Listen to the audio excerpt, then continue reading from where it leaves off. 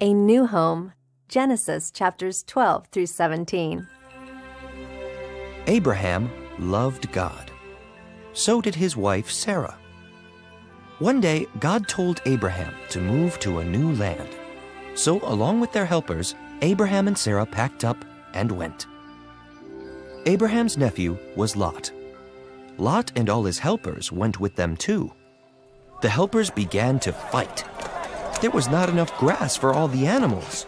So Abraham said to Lot, You pick your own land to live on. Lot chose the best land. It had the most green grass and the most water for his animals. Lot moved to his new home. Then God gave Abraham a blessing. God said, All the land you see here will be yours forever. Also, you and Sarah will be blessed with many children. God led Abraham and Sarah to a place called Hebron.